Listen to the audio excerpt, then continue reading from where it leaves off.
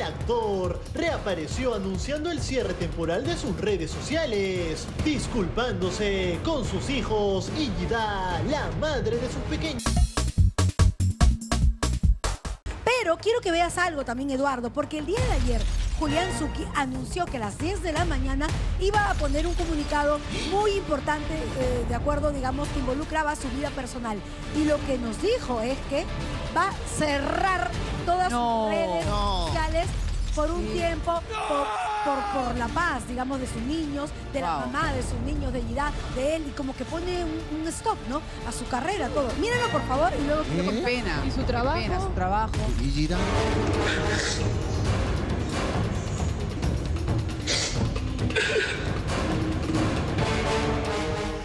Una semana, Julián Zucchi protagonizaba esta lamentable escena durante una transmisión en vivo.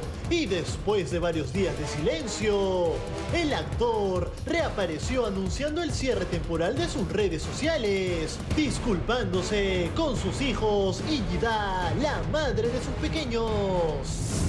Por este medio quiero ofrecerles una disculpa al público, a mis hijos, a la madre de mis hijos, mi familia completa y a toda la comunidad. Hoy les comunico que por mi salud mental y la de mis hijos he decidido cerrar mis redes sociales por un tiempo y hasta nuevo aviso. Este importante anuncio, en conversación con América Hoy, Julián remarcó que ha decidido hacer una pausa a su carrera artística y enfocarse solo en su familia. No solo cierro mis redes, hago una pausa en mi carrera como artista. Solo me voy a dedicar a producir por un tiempo. Hoy me voy a enfocar en mis hijos y mi familia que sufrieron mucho con todo esto. Esto es real, no hay que tomarse a la ligera ni a la broma la salud mental.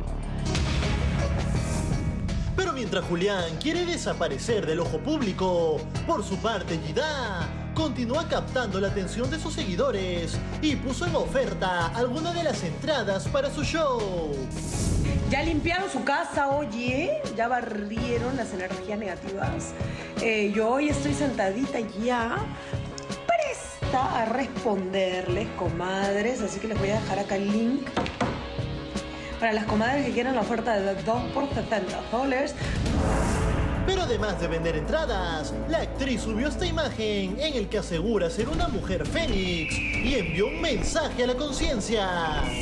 Yo creo que hay mucha gente que confunde, muchísima gente que confunde el concepto de mujer fénix, mujer empoderada, que, que renace de la ceniza. Justamente, una mujer fénix se equivoca, una mujer fénix sufre. No es que, ay, sufres, no eres una mujer empoderada. No. Las mujeres empoderadas somos las que salimos de situaciones complicadas. A pesar de cualquier cosa, nos levantamos, nos limpiamos el lodo y seguimos adelante. Al parecer, haber estado en medio de la polémica y duros enfrentamientos hizo que ambos toquen fondo y decidan darle vuelta a la página por su bienestar emocional. Es lo correcto, es lo correcto, me parece perfecto. Me da mucha pena por su carrera porque es un súper actor, súper influencer, estaba haciendo las cosas muy bien, pero primero es la salud mental. Hay que priorizar para luego poder continuar, crecer, sobre todo por sus hijos. Saber cuándo hay que poner un stop, ¿no? Un estate quieto y tratar de rediseñarse, reinventarse y luego volver a salir a la palestra. Y es, es el momento que Julián Zucchi considera que es hoy. Hoy, para sus redes sociales, porque la salud mental, nos dice Eduardo algo muy cierto, no hay que tomarlo a la ligera y no hay que tomarlo como una broma. Sí, lo que está haciendo este Julián es correcto, psicológicamente hablando, es sano. Ya tenía que poner un límite, un stop, ¿no? Porque claro, ya lo vimos quebrado la semana pasada, hace un par de semanas. Tiene que detenerse, que se tome su tiempo, que se tranquilice para salir adelante y ver al Julián que apreciamos, que queremos, al Julián que está bien. Y no es Entonces, fácil tomar esa decisión, Eduardo, porque uno tiene que trabajar, tiene que mantenerse, mantener a los pequeños y no todo el mundo toma esa decisión. Sí, pero está siendo inteligente, me parece que al fin está siendo bien asesorado, a lo mejor tiene un psicólogo, un terapeuta, buena gente que le está diciendo, haz esto, para un rato, tranquilízate, deja de Excelente exponerte. entonces, el Sí, psicólogo está acá muy nos bien, dice, está muy bien. muy buena decisión, es momento de hacer un corte. Y trabajar, como él dice, como productor por un tiempo hasta que vuelva. Muchísimas gracias, Eduardo Bracamonte. ¿Dónde te podemos encontrar por Sí, tus consejos? si tienen problemas de pareja, de dependencia emocional, me pueden ubicar en mis redes. Estoy como Eduardo Bracamonte, psicólogo. Como siempre, para todo el público de América Hoy, 50 soles la consulta. Agréguenme, yo Eso. gustosamente los atiendo. 50 solito la consulta. Atención, Samara, Maestro. 50 soles la atención. Y en breve, Hermano, Cuchi ¿qué? Rupiquina, no saben cómo ha crecido Antonito desde España. Hoy día lo vemos. Ay, Sí. ¿cuántos años cumple? ¿Cuántos años cumple? 11 me parece. Oh. ¡Qué rápido! enorme desde España. Vamos, Y vamos a a ver. enlazar desde España. ¡Qué emoción! Vamos a ver en breve. Olé. Pero ahora, imagínate que aparece la genio de la botella y te cumple el deseo de mejorar tu purgante de siempre. Así es. Ahora tu limonada purgante Marcos, libre de calorías, viene sin azúcar, tal como lo deseabas. Limonada purgante Marcos, libre de calorías. Es rápida, efectiva, puntual y ahora sin azúcar.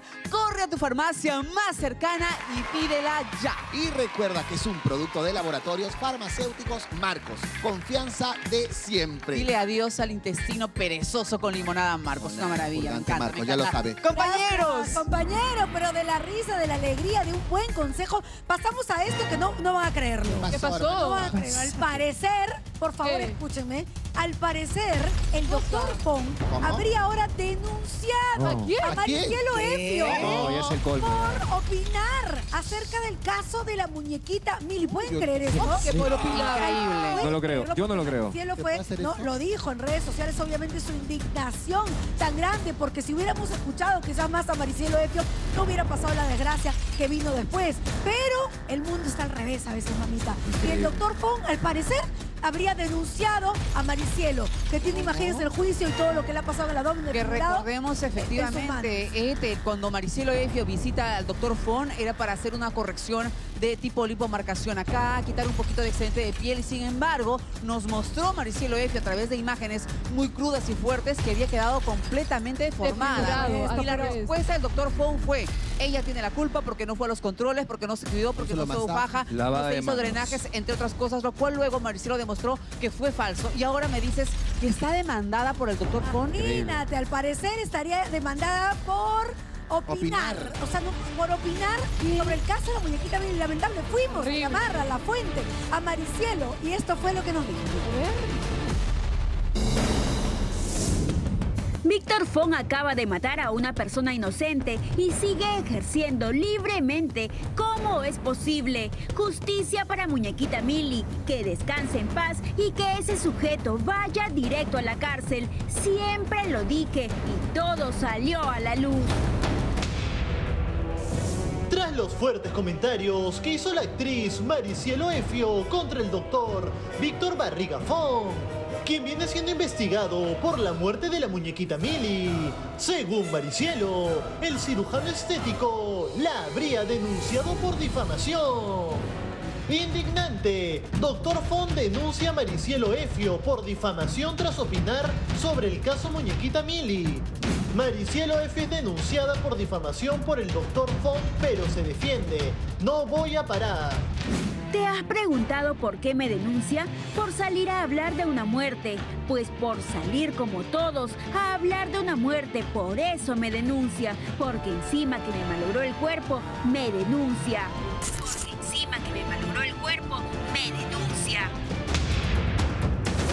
Tras la pronunciación de la actriz, conversamos con la doctora Rosa Bartra, representante legal del Dr. Fong, y esto fue lo que nos dijo.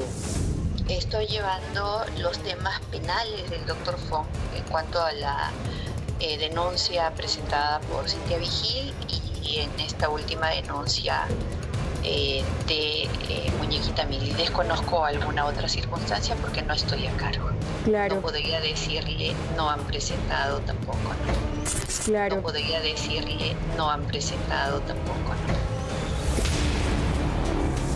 La abogada Rosa Bartra no niega dicha denuncia en contra de la actriz, pero lo que sí negó el último viernes durante la audiencia de Víctor Barrigafón es que existe una denuncia de Maricielo Efio.